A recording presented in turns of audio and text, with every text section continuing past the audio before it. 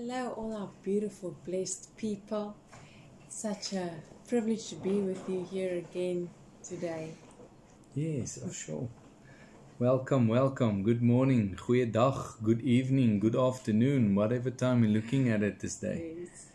So, we are finishing our fast. We had a wonderful time of prayer and fasting. Um, and as I was praying this week, the Lord gave me a word for our people, for our congregation, and I quickly want to share it with you. You know, for some of us, the year didn't start as we've hoped, as we've planned. Some of our people experienced loss and sadness and pain. And as I was praying into that, the Lord just gave me this word. He said, Hope and keep on. Just keep on keeping on.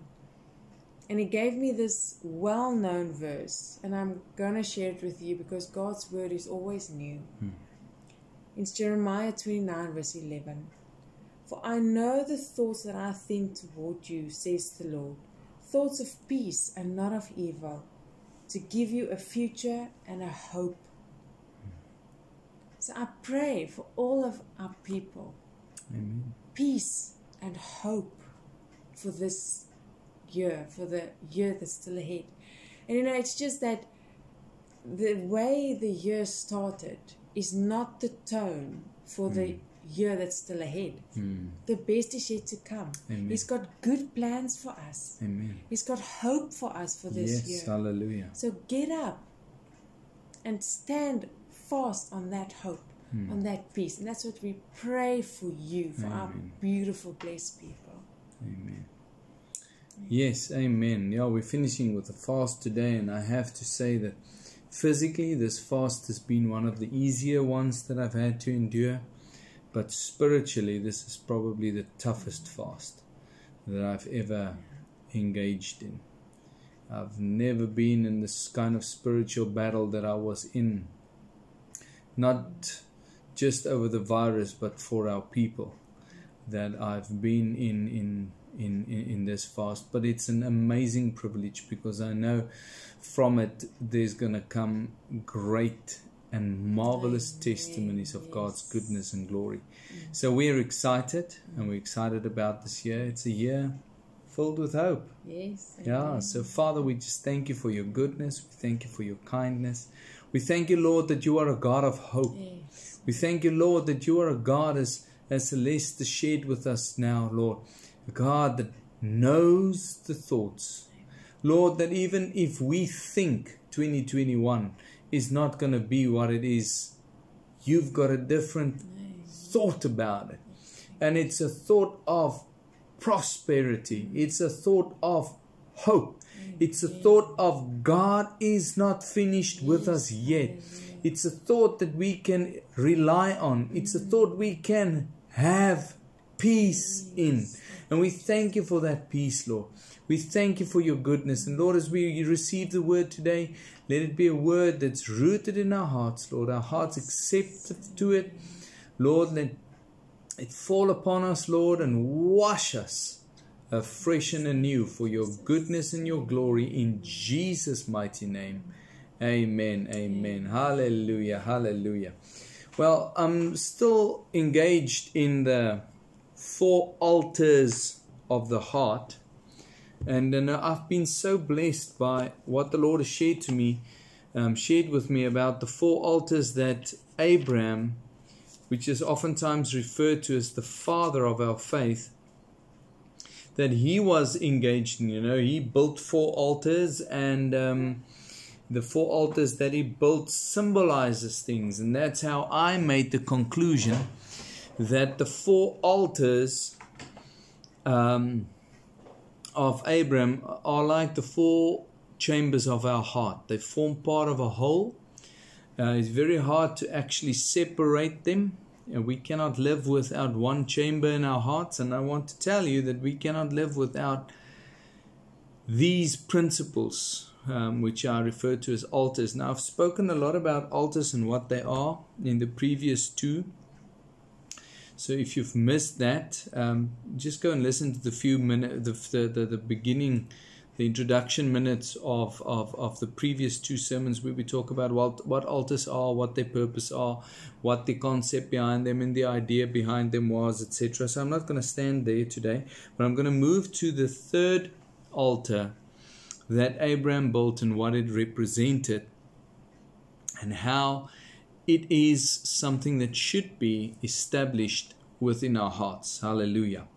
So if you've got your Bible, you can just open it up to the book of Genesis, first book of the Bible. And then from Genesis, just page 2, chapter 13. Last week we were in chapter 12. This week we're moving to chapter 13. Now, last week in chapter 12, we spoke about the altar that Abraham built between Bethel and Ai. Bethel, which represents the house of God, which is the place of open heavens, because that is where Jacob lied on the rock and the heavens opened and he dreamt how there was a staircase between heaven and himself and our angels moved up and down and he heard the voice of God coming from the top of it.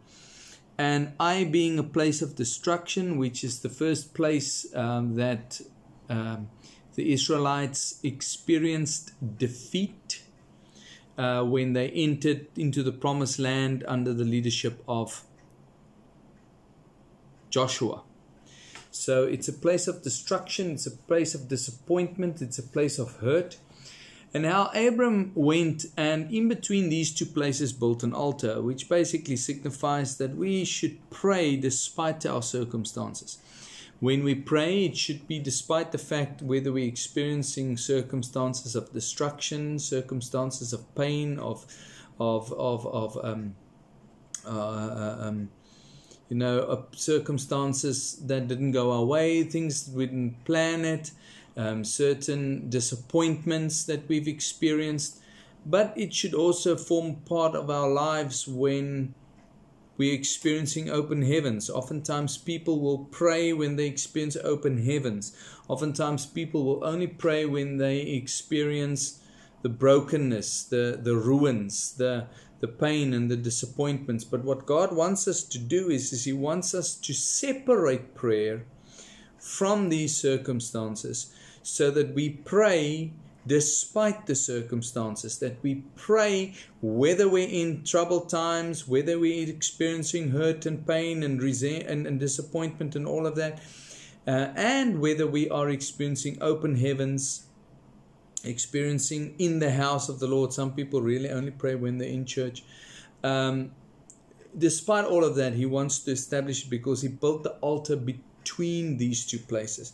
We spoke about how Prayer infuses us with power as it connects us to the supernatural. We spoke about how prayer is not a grocery list, but it is a place of communion, a place where God wants to commune with us, um, a place where even in our communion, the plan, the, the, the reason for prayer was not so that we can go to God with our petitions, but that we can speak to Him, that we can commune with Him, that we can have communion with Him. And from our communion, we are then able to make our prayers, our requests, our desires known to God. We spoke about how Jesus, in His greatest time of need, um, didn't ask for money, didn't ask for an army, didn't ask for his disciples to hide him and cover for him. He didn't ask for his people to, you know, organize something for him to keep him safe. He asked them to pray.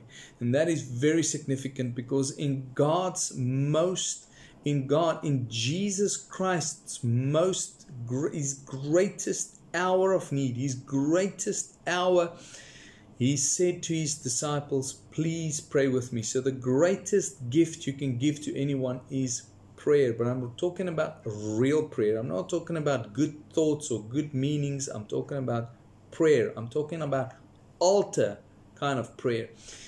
Nothing happens without prayer. We spoke about that. Nothing, nothing, nothing happens without prayer. And obedience is prayer, and prayer is obedience. Um, and um, yes, prayer is just the connection to the supernatural. If you have a person who prays, if you have a person who's got an altar of prayer, you've got a person who's connected to the supernatural.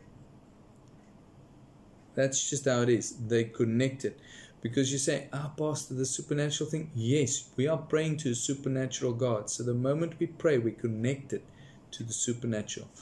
And uh, yes, so today we are at the third altar, and that is um, written up in Genesis 13. We'll start off at verse 1. We'll read the first four verses. We'll jump to verse 14 and read the last four verses there. Right, so verse 1 of chapter 13. Then Abram went up from Egypt, he and his wife, and all that he had. He took everything with him, and Lot with him, to the south. Abram was rich in livestock, in silver, and in gold. And he went on his journey from the south as far as Bethel to the place where his tent had been at the beginning between Bethel and Ai, to the place of the altar which he had made there at first, and there Abram called upon called on the name of the Lord. So here we see Abram returning to the altar of prayer. This is so amazing because it now becomes significant. Prayer is significant. Abram returns to this specific place after he came from Egypt. He comes there, and years after that, he comes to this place and he again, the first thing he does is to pray. So he enters this land that God has given him and he prays. This land God has promised to him and he prays about it. So he calls upon the name of the Lord. And what is so significant is, is I believe that the Bible is the most purposeful book that there is. Nothing in this book is there just because it's there. There's a purpose behind it. God wants us to see something in it. God wants us to understand something with it. So when we read that he came back to this place and he prayed. If you actually look at these first four verses in context with the chapter, it almost seems as if what has this got to do with anything? If you read the rest, it goes about Lot and about what happens between Abraham and Lot. And these first four just says they came back from there, he came to that place and he called upon the name of the Lord. And then from verse 5, it goes about what it's headlined in the chapter. So this is just amazing. He comes to this place and he prays. Nothing happens without purpose. God is the most purposeful being alive, and the Bible is one of the most purposeful books there is. I want to say the most purposeful book there is. Because prayer prepares you for what is to come. Abram was calling upon the name of the Lord. That is why I believe it is there. He called upon the name of the Lord, and I believe that the Lord prepared him for what is about to come. He received something in prayer there that was going to equip him for something to come. You say, ah, oh, Pastor, that might be a little bit far fetched because it's not literally written like that in the Bible. Well, let me put it to you this way when every day starts, what do we do? We pray. We pray and say, Lord, I submit this day unto you. Please make my paths straight. What do we do then? What are we doing? We are praying in the beginning of the day that the Lord will prepare us for what is going to happen in this day. Lord, give me wisdom for this day. Prayer prepares me for what is to come. That's why it's so important to pray. With prayer comes increase. Because as we commune with God, He prepares us, changes us. We spoke about this last week. Changes us to be able to receive what we need. Let's just look at what we've just said. When I pray, Lord, make my paths straight for today. what is He doing? He's bringing increase in me so that I can handle what is going to happen in the rest of this day. If I pray, Lord, give me wisdom for this day, I am praying increase in wisdom so that when I am confronted with a situation that's going to need my attention, I will have the wisdom to encounter it. So prayer brings increase. That prayer has brought forth the change that was needed in me to endure and to deal and to overcome and to be victorious in the day that I'm about to face. So prayer brings increase. And the Bible says it also brought increase in Abram because it changed Abram that verse 2 says Abram was very rich in livestock, in silver, and in gold. Any person who functions, any Christian who functions in a prosperous lifestyle, should be a person who prays a lot because that is the difference between us being controlled by what we have and by being controlled by God. A person who prays is able. What did Ravi Zacharias say? Let's just um, repeat that. Let me just go back to that. Um, if you are a praying Christian, your faith will carry you. If you are not a praying Christian, you will have to carry your faith and you will get exhausted trying to carry the infinite. So here we see that prayer brings forth increase and it changed Abraham, it bring, brought forth an increase with him that God could bless him because he knew that the blessings would not consume Abraham, but that Abraham would be able to rule and reign over his blessing. He would call upon the name of the Lord, not his possessions, which is very important. We oftentimes rely on our bank accounts to save us in difficult situations instead of relying on God. Abram had his first reliance on God, and because of that, God increased his bank account, and that just made, and let us be honest, life easier. But his main reliance was on God. Prayer strengthen, as I already said, um, be wise in what you pray for. You might just get it. So we've got to be wise in what we pray because nothing happens without prayer and we might just get it. Oftentimes I say, Lord, I pray for great wealth. Well, then you have to know that God, who answers prayer, is going to bring forth a change within you so that you can deal with what you've just received. Now, we are so excited when we receive the blessing but then we feel as if all hell's broken loose when God is preparing me to deal with that blessing. And oftentimes that's why I say be wise in what you pray for because you might just get it. And you might just get it because of the things that God wants to do within you before you receive what you've prayed for. Because He's not in the business of destruction. But that's just things that we've just seen here from verse 13 in these first four verses about prayer. Right, now let's jump to verse 14. And the Lord said to Abram, after Lot had separated from him, Lift your eyes now and look from the place where you are, northward, southward, eastward, and westward. For all the land which you see, I give to you and your descendants forever and I will make you, you uh, and I will make your descendants as the dust of the earth, so that if a man could number the dust of the earth, then the descendants also, then your descendants also could be numbered. Arise, walk in the light, ach, in the land, through its le- length and its width, width, and I, for I give it to you. Then Abram moved from his tent and went and dwelt by the terebinth trees of Mamre, and which are in Hebron, and built an altar there to the Lord.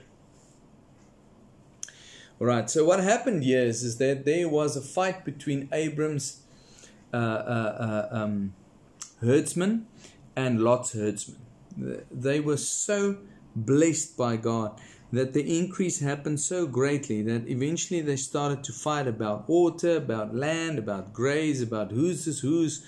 This is Lot's sheep, that's Abram's sheep, and I can just imagine, you know, when when when, when it's time to uh, for for the for, for, for, the livestock, you know, to to to to to to, to uh, multiply, then it would be an argument. But that's my master's my, my, my master's female goat, and that's my master's female ach, male ram, you know, the ram and stuff, and it'll be this fight. So I can just imagine where all of this came from.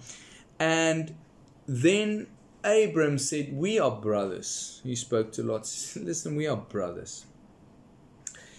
Let's let's let, let's let's keep this civilized. You choose the land you want, and I'll go. If you go east, I'll go west. If you go west, I'll go east. If you go north, I'll go south, south, north.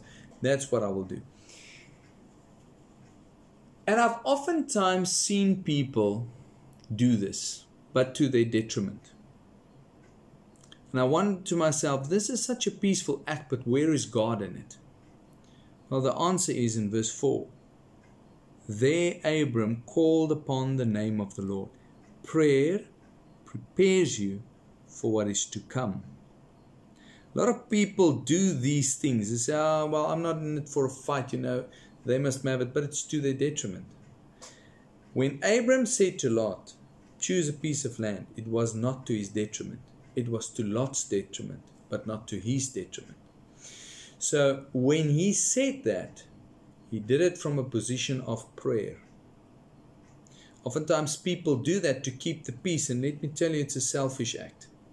And you say, Pastor, how can that be a selfish act? When he said to Lot, whatever piece of land, if it didn't come with prayer, whatever you choose and I'll go the other way. Let me tell you why it's selfish. Because you the person did it to avoid confrontation.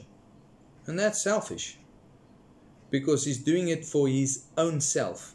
He's not doing it because he's guided, he's not doing it because he's led, and he's not doing it from a position of prayer.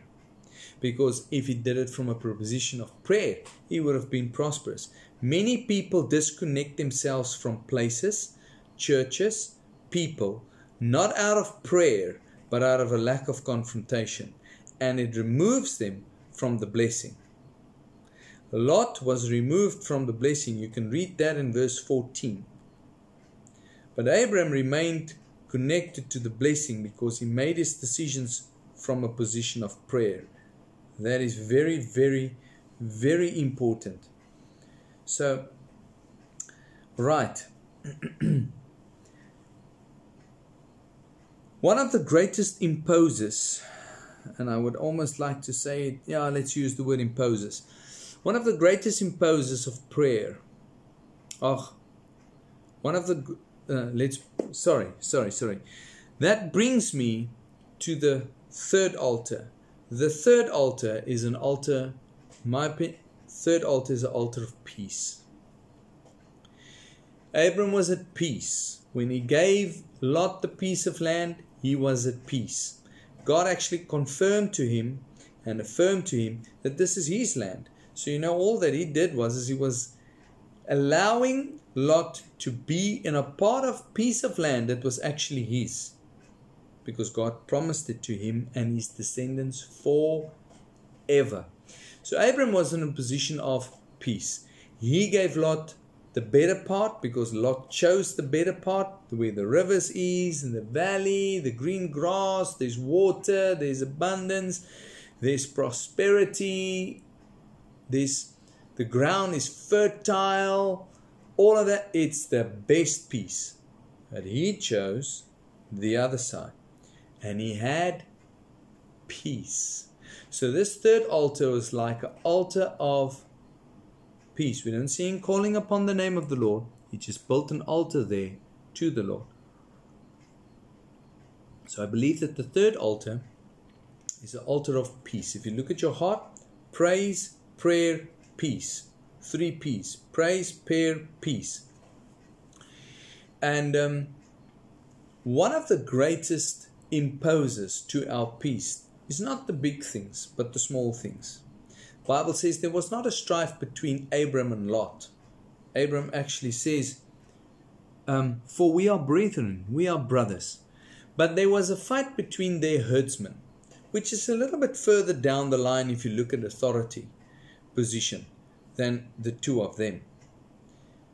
And it's oftentimes the small things, the herdsmen, the little things that come and affect our peace.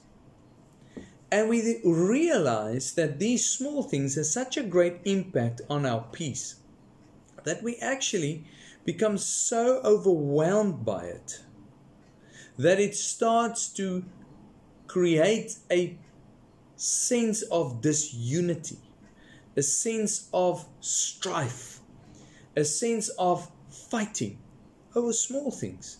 You can look in marriages, husband and wife, children and parents, friends. Um, you can look at it in, in workplaces between co workers, the boss and the workers. Small things, and it accumulates. It becomes more and more, and it gets to a point where it starts to become strife. Now it's not just a fight, it becomes a strife. This is work, this is draining, this is. Where did it begin? Small things. Small things affect our peace. So we need to guard our peace by guarding against the small things. Sort it out. Don't be ignorant. Don't be arrogant towards it. Sort it out. A lot of people run away from it. Abram did not run away from those problems. He prayed about it. A lot of people run away from those problems instead of confronting the small things. That's why I'm saying they ha- they did what Abram did, but not from a position of peace, but from a position of avoiding confrontation. So these small things affect us. Guard your heart against the small things. Peace. Abram had peace because these small things were nitty gritty things to him. And he realized, he realized that the land was his anyway. So it doesn't matter if Lot's there for how long and however long Lot's going to be there. It's still his. It's not going to become Lot's. It's going to remain his because God says that I will give you this land forever. Does he say that? Verse 14, verse 15, forever. Now I will, for all the land which you see, I give to you and your descendants forever. From a position of peace, bro, you choose the place you want to go and you go. I'll go the other way. But it was from a position of prayer and from a position of peace. Peace by knowing what God's word was for his life. And he received that in prayer. Awesome. Praise, prayer, and peace connects us to the blessing of God. Praise, prayer, peace. Three altars. Praise, prayer, peace connects us to the blessing of God. Think, think on that a bit. Because if we don't have peace, we do not enjoy our blessings. You can be blessed. You can be so blessed but if you don't have peace, you don't enjoy that blessing. Just think about if there's strife in the house, you right, between husband and wife, all right? You can have 10,000 Rand in your bank account to go and spoil yourself with. But because there's strife in your heart, there's strife in the marriage, there's this friction, you don't enjoy that blessing. You simply don't enjoy it as much as you would have enjoyed it there was peace and you guys could have done it together. So Abram chooses the less desirable option. But he had peace because that is where God was. That's important. Oftentimes people grab something because it seems good, but it's not where God is. You've got to ask yourself this question honestly Is God in what you are doing? Oftentimes, people take the easier way out. Like Lot, I'll go live there in the valley that's fruitful. I'll go live there in the valley that's water. I'll go live there in the valley that's got the green grass. I'll go live there. It's more comfortable, but it's not what God has for you. Abram went the less desirable way because Lot chose the more desirable way. But God was not in the desirable, He was in that space because Abram was continu- continued to be blessed. Lot, you'll just find out in the next chapter, lost everything. Sometimes people are experiencing tough times, they're experiencing challenges. They're experiencing challenges not from the ministry that they're in, but in the things around it. Abram didn't experience trouble in his house, but they experienced troubles from the things around it. And it made life uncomfortable. So he had peace, but he also didn't just run away from the confrontation. He engaged in it. And he took the less desirable way because God was in it. We sometimes have to make decisions and choices. The first thing we need to ask ourselves is Is one of the first things we need to ask ourselves is Is God in it? Is God in it, or am I making this on my own? Important question. The great thing in all of this is that whatever you do, have peace. The Bible says in Colossians 3, verse 15, let the peace of God rule in your hearts. Philippians 4, verse 7, let the peace of God, which surpasses all understanding, guard your hearts and minds in Christ Jesus. Peace is a powerful, powerful factor. Now let's look quickly at verse 18. Well, let's look at where Abram built this altar and what these places represent. Let's first stand still at Mamre. Mamre refers to strength and fatness. Hebron refers to association. Now let's just stand still at Mamre. I hope I'm saying that correct in English. strength and fatness. Peace is not an outward feeling, but an inward establishment. I'll say that again. Peace is not an outward feeling, it's an inward establishment. If my peace is associated to worldly things, then I am enticed by feelings. Feelings calm me down. I feel peaceful today, tomorrow I might not. But if I have an inward establishment, despite the circumstances that I'm confronted with and are faced with, I have peace. Abram, despite the fact that he had to separate from this man, had peace because of an inward establishment which is done through the altar, the altar of peace inside our hearts. This must be prevalent. If you want to keep on growing and if you want especially to grow in spiritual maturity, peace is a very, very big factor. The Holy Spirit works this within us. That is why it's so important to be spirit filled. A spirit filled child of God not just a, a spirit filled child of God. Because the Bible refers to the fruit of the Spirit, and one of the part of the fruit of the parts of the fruit of the Spirit is peace. So every spiritual child of God has got access to peace. It's within us. It's part of who we are. It's inseparable of who we are. We have it. What we should do is give more attention to it. We have that peace. We have that peace because true and lasting peace is only worked by the Holy Spirit. It is not worked by situations, it's not worked by circumstances, it's not worked by prosperity, it's not it's worked by the Holy Spirit. Lasting and true peace is worked by the Holy Spirit. Peace is not a weakness it's a strength. Oftentimes, people will refer to peacemakers as, you know, we might not say it, but we think it. Oh, you know, because they they're not up for the fight. Peace is not a weakness, it's a strength. Because the absence of peace is draining. The absence of peace weakens a person.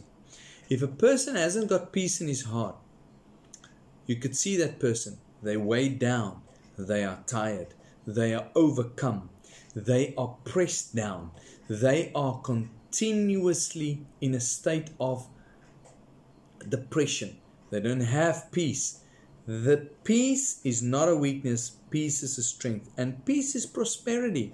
People can have tons of money but no peace. People can be poor but no peace. They won't be fulfilled. People can have tons of money and have peace and they'll be fulfilled. People will be poor and have peace and they'll be fulfilled.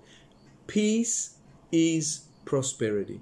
Prosperity is peace. That's why the Jews use the word shalom to greet each other, which means peace, but it's not just peace, it's wholeness, it's prosperity, it's joy, it's all of that according to one word, shalom, which we refer to as peace, because peace is prosperity, and true prosperity is peace. It's just how God works. Isn't He awesome? Isn't God awesome? Well, so Hebron is the place of association. What you associate yourself with determines with what you associate yourself with determines your peace. If you associate yourself with troublemakers, you're not going to have peace. If you associate yourself with people who oftentimes every now and then gets into some other fight because of a gossip, you're not going to have peace. If you associate your, yourself with people who are in the wrong all the time, you're not going to have peace because you're going to lie in bed and you're going to worry if you're going to be associated with them. You're going to worry if you're going to be pulled into their mess.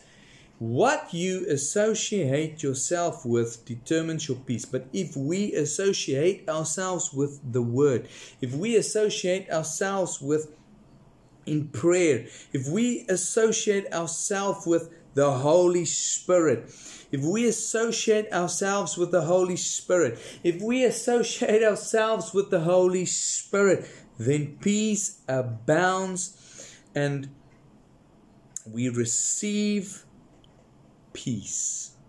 That's what happens.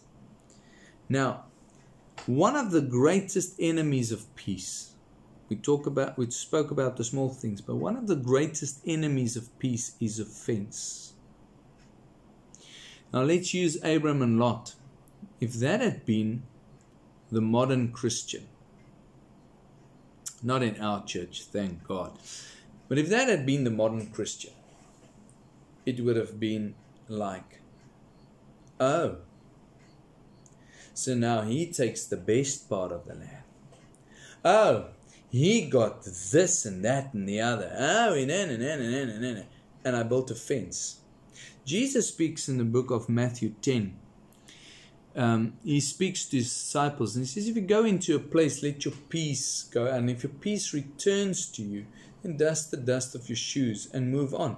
Don't hold a grudge. Don't hold resentment. Don't be upset. Don't take offense. You see, if we take offense when we're in a situation because of disappointment, hurt, misunderstanding, um, whatever the case may be, even arrogance can cause offense, not from the other person, from my side. Um, the fence of offense keeps my peace from returning to me. When Jesus said, if you if you go into a place, then leave your peace. If the people receive the peace, you are at peace. If they don't receive the peace, that's when you have a problem.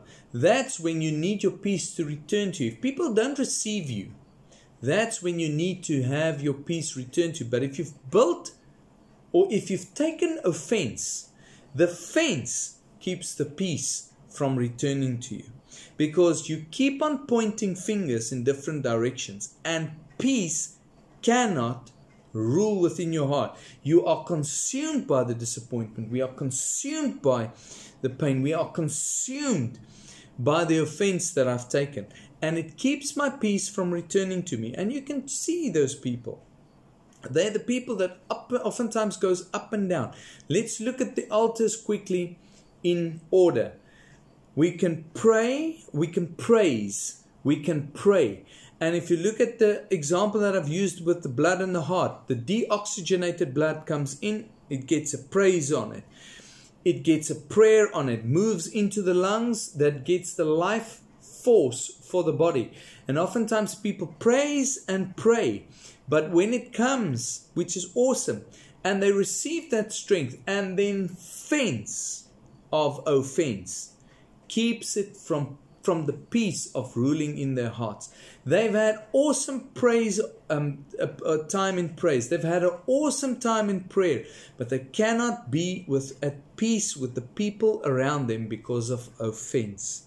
The fence of offense keeps the peace from the heart. And Abram dealt with that. He said to Lot, You choose whatever, and whatever you choose. We oftentimes say that.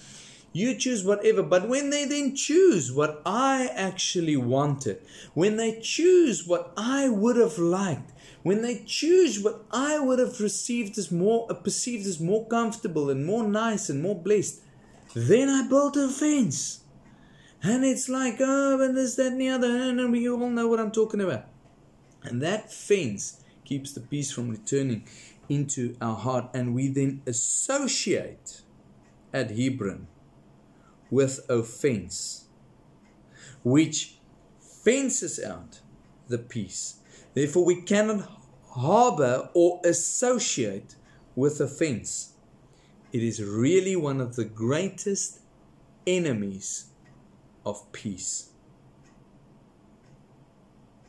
With an altar of peace, we are connected to strength and prosperity, which is well being and that associates us with the giver of peace. Who is the giver of peace? Jesus is the Prince of Peace. And that makes us a good association for other people to be surrounded with. Oftentimes, you'll have a person, if you're in his presence, you just experience peace and you walk away, you just experience this peace, this amazing, overflowing peace it's because you've been associated with peace. Be peaceful so that those who associate with you can receive peace. Because we then become peace. It's part of our lives. Our life force is fueled by peace. Use the heart. It's been oxygenated in the in from prayer, oxygenated in the lungs, and the first thing it then needs is peace. Peace amplifies, peace increases the life force. Peace connects us to the blessing of God, and peace comes from trusting in God. If we trust God, we know. I mean, Abram trusted God. He trusted God. He knew God had given him that peace. He knew who he was in God. He trusted God. People who take offense don't know who they are in God because they keep on looking for the acceptance of other people, and that's why they take offense when they don't get it. So, when we trust in God, we have peace. If I trust God in the midst of a storm, I'll have peace. If I trust God in the midst of my bestest, best moment, greatest joy, I'll have peace. Peace comes from trusting God. So, your heart altar, the third altar, is an altar of peace.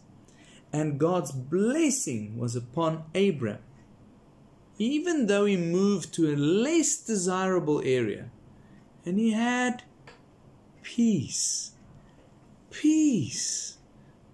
We are in one of the greatest challenges that we would have that we have ever faced in our generation.